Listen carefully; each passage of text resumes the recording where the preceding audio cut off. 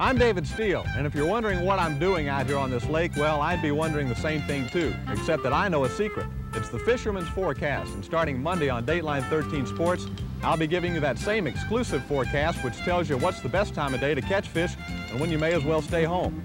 The Fisherman's Forecast, just one more exclusive, beginning Monday here on Dateline 13 News and TV 13.